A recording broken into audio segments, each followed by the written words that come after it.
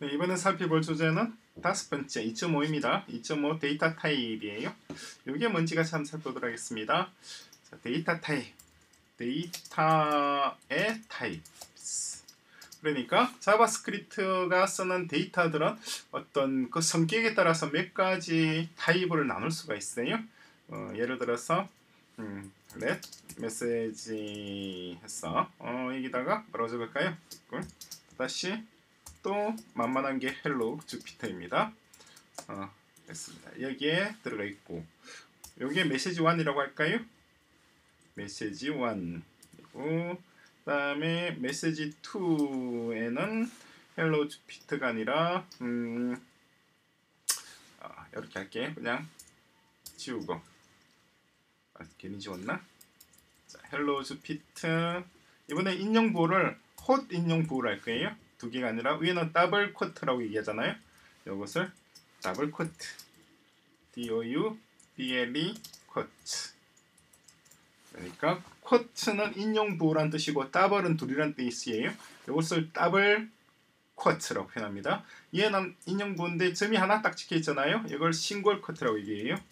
싱글 코트 그래서 여기다가 마찬가지 hello 어 again 다시 안녕 다음에 메시지 3를 해볼까요? 세 번째 메시지 같은 이름이 두번 반복되면 안 되는 거예요. 한 번 같은 이름은 한 번만 써야 됩니다. 프로그램 내에서 그러니까 이름을 바꿔줘야겠죠. 얘를 3으로 바꿔줄게요. 빨간 줄 없어졌죠? 이번에는 숫자를 넣겠습니다. 숫자는 뭐 45 이렇게 아니죠 42 42가 어떤 진리의 숫자라고 어떤 영화에서 나왔던 것 같은데 어떤 영화였는지 모르겠네. 자 이런 것도 있고 다음에 let 메시지 어, 에다가 이번에는 포 여기는 널을 넣겠습니다. 아, 널이라고 데이터를 넣고 다음에 let 메시지 나머지는 뭐, 예, 뭐 object이긴 합니다만은 일단 요것만 하죠. 예. 그러니까 지금 보니까 요걸 뭐라고 하느냐니까 요런 데이터 타입을 string이라고 얘기를 해요. string 그죠? string이라고 그러고 string은 single quote나 double quote에 들어가거나 어디가 들어가도 상관이 없습니다. 그리고 이것을 number 그러죠. number라 그러죠. single quote고 number 얘는 null이라고 하는 거예요. 그냥 null 어. null이라고 하는 데이터 타입입니다. 얘는 어 뭐, 뭐라고 해야 되나요? 음, 굳이 표현하자면 제로 제로 박스 속에 0이 들어가 있는 거예요. 0 그죠? 그리고 let 메시지에서 이번에 four에서 여기다 뭘 넣느냐니까 true를 넣는 거예요. 이걸 불링이라고 얘기합니다. 불링은 어, 불 그냥 불 할게요. 불 혹은 오는 불링 하는데 얘는 음, true 아니면은 false 또는 false. true는 참이란 뜻이고 false는 거짓이란 뜻인데 어, 참과 거짓 할 때 그런 true, false의 의미예요. 근데 꼭 그런 의미만은 아니에요. 어, 다른 의미도 좀 있습니다.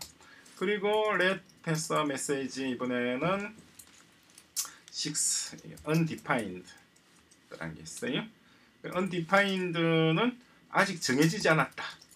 그래서 아직 정해지지 않았다. 얘는 뭐예요? 널, 널이라, 널이라는 뭔가가 있어요. 뭔가가 있다. 널이 뭐냐? 요거는 어, 굳이 표현하자면은 제로랑 비슷한 거예요. 제로 0이죠. 0. 0과 비슷. 하지만 똑같진 않아요. 0과 비슷한 뭔가가 들어있는 거고 undefined는 아직 정해지지 않은 거예요. 그래서 이게 뭐냐니까 let 메시지 이번에는 7 이렇게만 해놓을게요. 그죠? 자 봅시다. 그래서 컨솔로 갑니다. 컨솔 로그 해서 메시지 1부터 넣어보죠. 그리고 어 쫑쫑쫑쫑쫑 넣어서 얘는 2 얘는 3 얘는 4 얘는 5 얘는 6 그리고 하나 더 있어 얘는 7 넣었어요. 그 컨솔로그 1, 2, 3, 4, 5, 6, 7이 쪼름이 나오겠죠? 저장해 보겠습니다.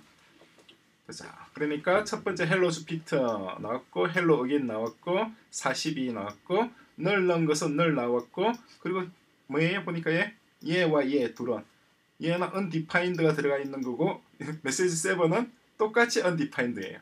그러니까 선언만 하고 값을 넣지 않았잖아요. 네, 선언만 하고 값이 들어가지. 선언은 declare라고 우리 했었죠. 그죠?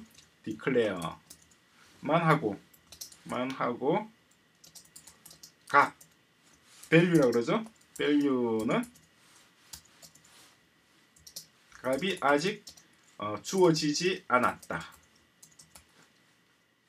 주어지지 않았다. 주어지는 걸 뭐라고 얘기했나요? 우리가 어자인이라고 했었죠. 어자인.